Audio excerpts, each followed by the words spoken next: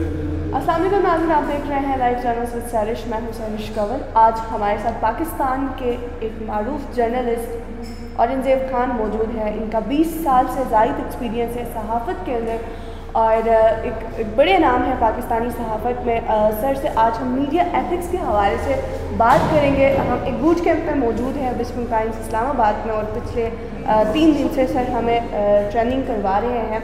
Sir मैं आपसे ये जानना चाहूँगी कि पाकिस्तान में जो मीडिया एथिक्स है वो किस हद तक प्रैक्टिस हो रही है और इसमें मज़ीद कितनी बेहतरी लाने की गुंजाइश है? आप किस तरह से देख रहे हैं? हमारे आ, मीडिया में जो है बहुत सारे आ, ऐसे जर्नलिस्ट हैं जो कि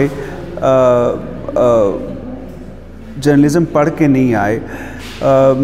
एथिक्स किसी भी प्रोफेशन का आ, उसके एजुकेशन में और उसके प्रैक्टिस में रूटेड होते हैं। जब आप मिसाल के तौर पे अगर आप मेडिसिन को ले लें तो मेडिसिन आप चार पाँच साल पढ़ते हैं, फिर एक साल आप रेजिडेंसी करते हैं या हाउस जॉब करते हैं, जिसमें आपके बड़े सीनियर्स उनके साथ आप बंद के आप वो मरीज़ों को देखते हैं राउंड्स करते हैं, उनसे सीखते हैं। और फिर उसके बाद जो है वो आपको एक, आ, एक आ, उनका जो मेडिकल वो है Pakistan medical and dental corporation है कि क्या है you know I don't know वो आपसे वो लाइसेंस देता है इस बुनियाद पे कि आप, आपने पढ़ लिया है और आपको तजुर्बा भी हो गया और अब आप उसके प्रैक्टिस करेंगे। लेकिन वो जो लाइसेंस रहता है, इस बुनियाद पे होता है कि आप एथिकली आपने जो पढ़ा है, उसके अखलाकियात को मद्दनज़र रखते हुए आप वो प्रैक्टिस करेंगे। जब आप नहीं करते, आप मेल प्रैक्टिस करते हैं या आप ओवर साइट करते हैं या आप नेग्लिजेंस करते हैं तो आपसे वो लाइसेंस वापस ले लिया जाता है।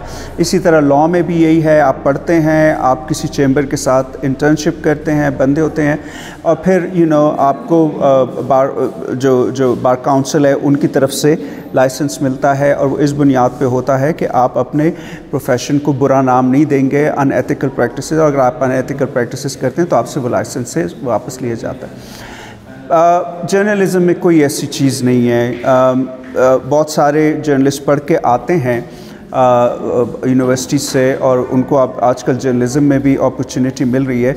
लेकिन इंटर्नशिप के बहुत कम मौाक़े हैं। ज़्यादा जर्नलिस्ट निकलते हैं, लेकिन इतने इदारे नहीं हैं कि उनको इंटर्नशिप दें। ना इदारों को इंटर्नशिप देने का शौक़ है, क्योंकि जर्नलिज़म जो है वो थोड़ा सा एक्सपेंसिव प्रोफेशन है। जब आप इंटर्नशिप देंगे और अच्छी ट्रेनिंग देंगे तो उनको स्टोरीज़ के लिए बाहर भेजेंगे और उनसे काम लेंगे तो उनको फाइनेंशियल सपोर्ट देना पड़ेगा वो अपने इदारे में अपने स्टाफ को तनख्वाहें नहीं देते तो वो इंटर्नस को क्यों देंगे? तो इंटर्न्स जाते भी हैं इंटर्न्स को जिनको मौका मिलता है, उनको फिर वो पूरी अटेंशन नहीं मिलती। तो वो कुछ ना कुछ तो सीख लेते हैं, लेकिन ज़्यादातर और जो वो सीखते भी हैं तो वो ज़्यादा स्टोरी करने के हवाले से जर्नलिज़म करने के हवाले से वो वो उनकी ट्रेनिंग और उनकी डिस्कशन और वो जो मेंटरिंग वो एथिक्स के हवाले से बहुत कम होती है।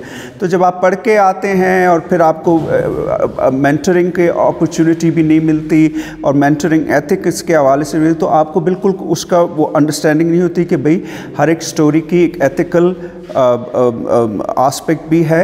और मीडिया के अपने अंदर ये अंडरस्टैंडिंग बहुत कम है कि मेरे, मीडिया के हाथों लोगों को किस तरह तकलीफ़ पहुँच सकती है।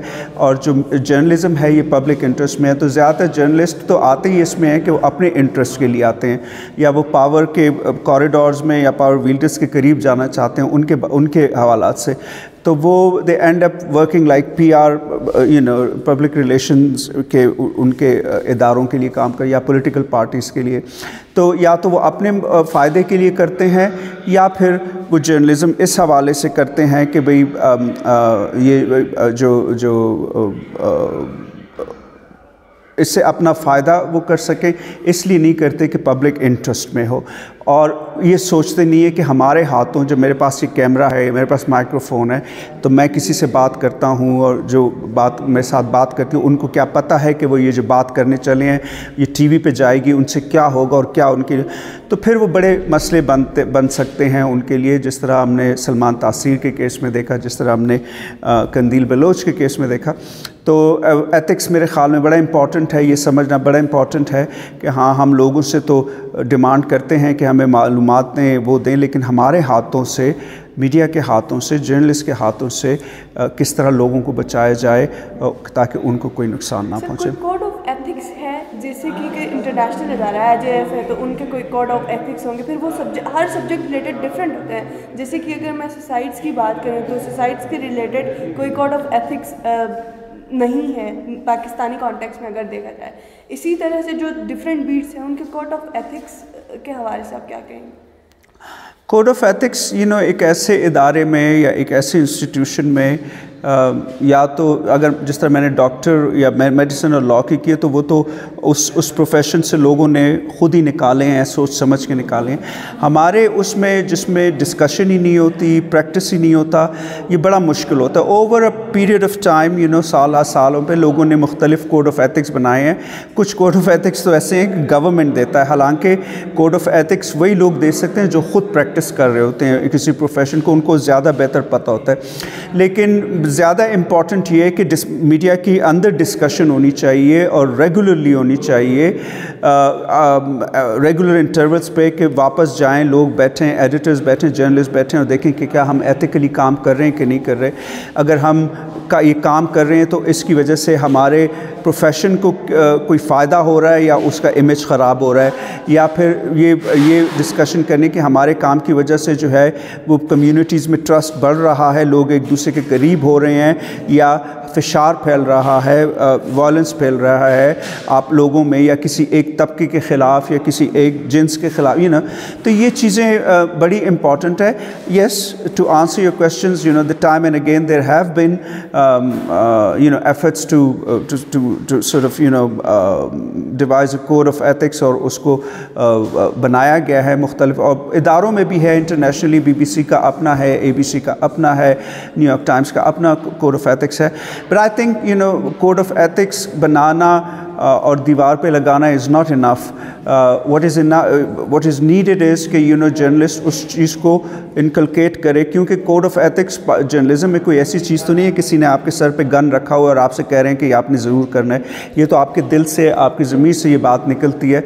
तो आप प्रैक्टिस करें और उसकी, हर स्टोरी के उस जो एथिकल डिलेमाज हैं, उस पर डिस्कशन करें। टिल सच टाइम कि वो ये मेंटरिंग प्रोसेस का एक तरीका बन जाए और साल, दो साल, तीन साल जब तक आपकी मेंटरिंग हो, उससे जब आप गुजरें तो ये आपके लिए एक सेकंड नेचर बन जाए कि जो स्टोरी को देखें तो आप और प्रिंसिपल्स के साथ साथ एथिक्स को भी मद्दनज़र से भी उसको देखें। जर्नलिज्म के पाँच एथिक्स या कोड ऑफ़ कंडक्ट जो है अगर वो बताएँ। Um, ये डिस्कशन थोड़ी लंबी हो जाएगी लेकिन इंडिपेंडेंस है कि आज़ादी हो uh, आप आप आप किसी से uh, जब जर्नलिज़म कर रहे हो तो प्योरली पब्लिक इंटरेस्ट के उसमें कर रहे हो और उस उस पब्लिक इंटरेस्ट के राह में कोई चीज़ भी आती है वो आपको रोकती है तो वो अगर आ, लालच है ब्राइबरी है रिश्वत है कोई फेवर्स हैं जो आपको वो वो करें आ, तो आप किसी से पैसे लेते हैं या कोई आप पे दबाव डालता है तो ये आज़ादी नहीं रहती। तो आप सबसे पहले तो आज़ाद हों। किसी हर किसी के प्रेशर से बाइसेस से बाग बाहर लो, बा, लोगों के अपने बाइसेस होते हैं और उनको पता नहीं होता वो कहते हैं हम आज़ाद रिपोर्ट कर रहे हैं। लेकिन वो बाइस बाइसेस ले समझते हैं। अब हमारे उसमें जेंडर स्टीरियोटाइप्स हैं तो जर्नलिस्ट जो हैं वो औरतों को यू नो नाकिसुल कहते हैं या यू नो उनको कमज़ोर कहते हैं तो वो वो उन बाइसेस को लेके औरतों से बात करते हैं। वो विदाउट रियलाइजिंग कि ये ये ये आप अपने ही ज़ात के अपने बाइसेस और प्रिजुडिस से आज़ाद नहीं है।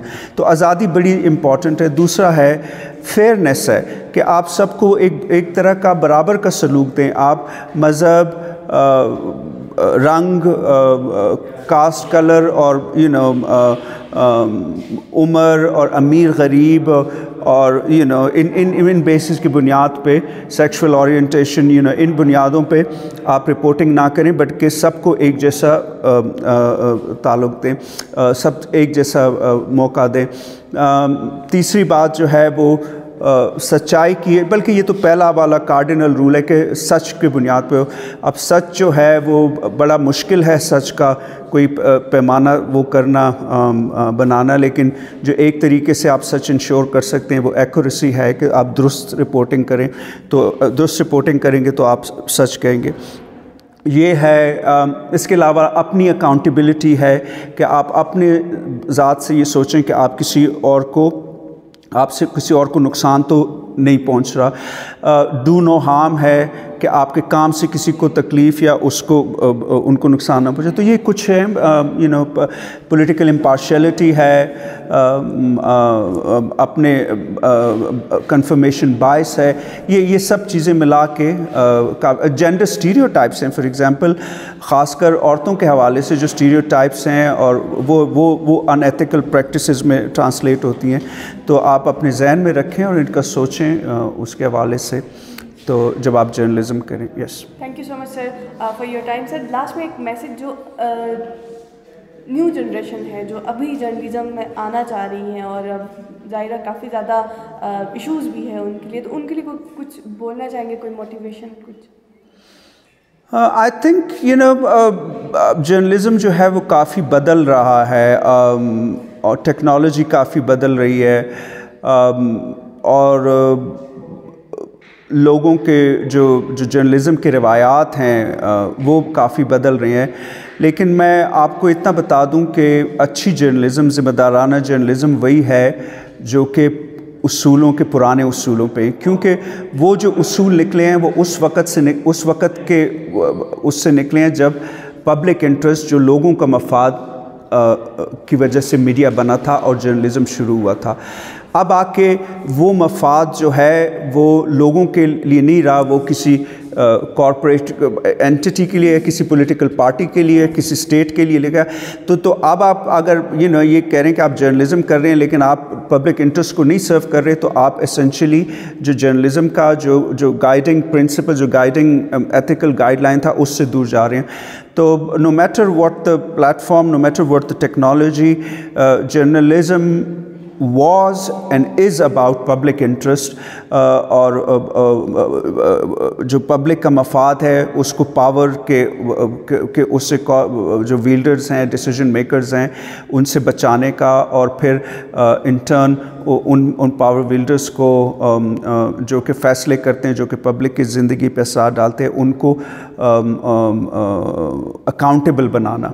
उनसे सवाल पूछना, उनके अमल पे यू नो नज़र रखना एज अ वॉच डॉग तो ये वॉच डॉग का अमल और पब्लिक इंटरेस्ट का अमल जो है, ये रहेगा। अगर ये नहीं रहता तो फिर जर्नलिज़म जर्नलिज़्म नहीं रहती।